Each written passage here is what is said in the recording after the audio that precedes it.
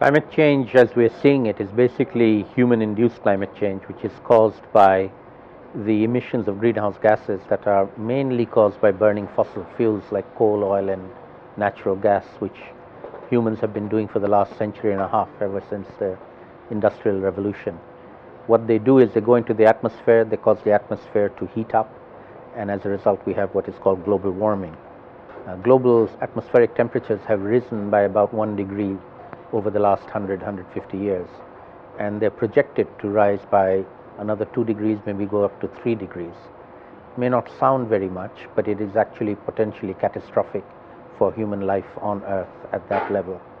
Those kinds of fluctuations in temperature on that scale have caused ice ages in the past, and they might cause very severe uh, melting of ice if the temperature goes up.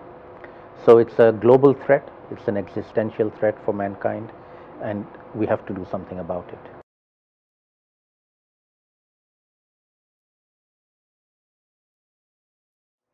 Climate change is going to impact all parts of the world. Um, some parts of the world are more vulnerable than others. Uh, Bangladesh, because of its uh, geographic location on the delta of uh, two of the mightiest rivers in the world, the Ganges and the Brahmaputra, being a very low-lying uh, country, and at the same time highly dense country in terms of population and at the same time being a very poor country gives it a triple whammy in terms of its vulnerability.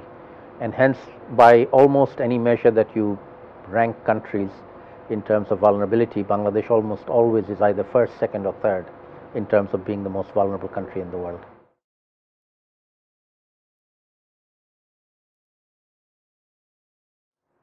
Dhaka is going to find it very difficult to respond just by itself. This is a national problem, not a, a city only problem.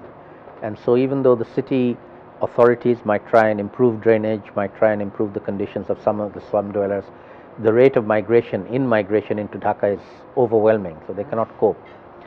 So, it has to be a national uh, program, it has to be a, a national planning and investment that enables people who might come to Dhaka to go somewhere else, to other cities and other towns, which means we have to build the infrastructure in these other cities and other towns so that they will attract people to go there and not come to Dhaka because Dhaka cannot absorb another 10 million people.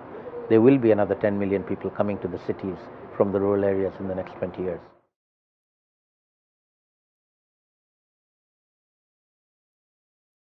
It's quite clearly not doing enough. The international community has failed to live up to the promises that were made well over 20 years ago when the UN Framework Convention on Climate Change was signed. That was a treaty that all countries all signed. They promised to take actions.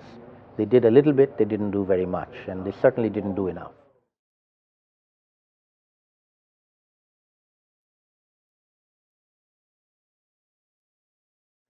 I'm actually a, an optimist. I think Bangladesh has um, already become aware of this problem quite significantly a number of years ago from the prime minister down to the farmer in Bangladesh knows about climate change. And they're not sitting idle they're doing things the government is doing things NGOs are doing things everybody in Bangladesh is trying to figure out what to do. So we are already up several rungs of a, a steep learning curve la ladder of knowledge on adapting to climate change. And that's why in Bangladesh, particularly when it comes to community-based adaptation, the rest of the world comes to see what we are doing. So in a very real sense, when the rest of the world gets affected by climate change, this is where they will come to learn how to tackle it because we are tackling today what the rest of the world will have to tackle tomorrow.